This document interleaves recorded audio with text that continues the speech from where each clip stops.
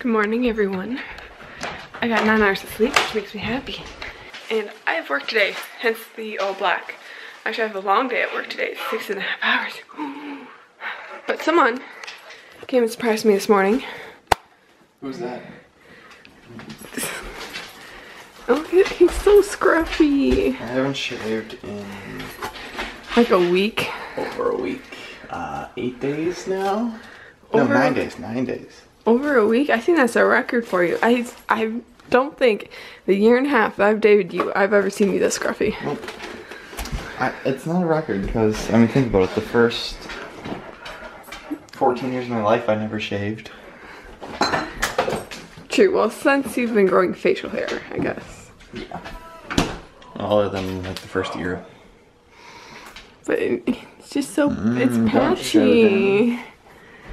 It's, it's pretty terrible. Don't show me. I want to be shown. So, yes, that he surprised me this morning, which was nice, because Mm-hmm. I haven't seen him in a while.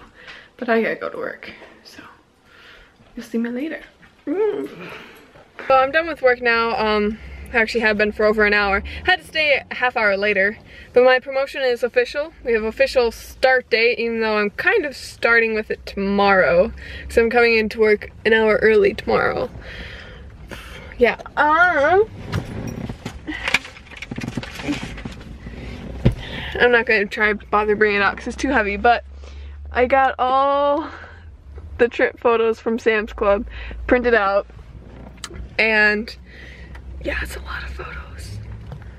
that it is like the guy behind the counter is looking for him and like his bends and he's like are you sure you told me to print these out? And then he like looks off to the side and there's this giant stack. He's like oh these are for you.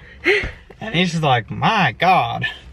I got down from like 714 to 420 or something, and then I got two sets, and then I just bought two photo albums at Walmart, and while we were there, what did we find? oh, we found a fancy antique a disposable film camera You know, this is how my photography career started, was with these things, you know? these things are cra- these things are like eight bucks though i'm like man that's crazy but honestly did not know these still existed so and it's still in film.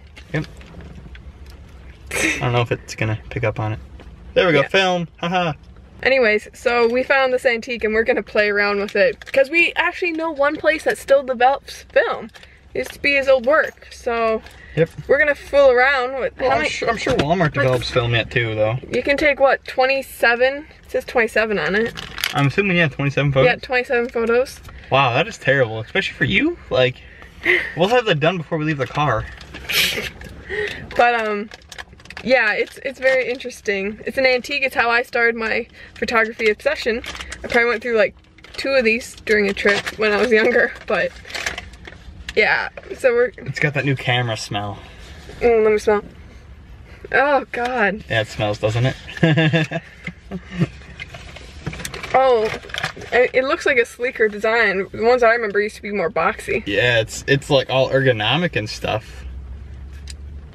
And I mean, it even tells you how to use it on the back. It's got instructions.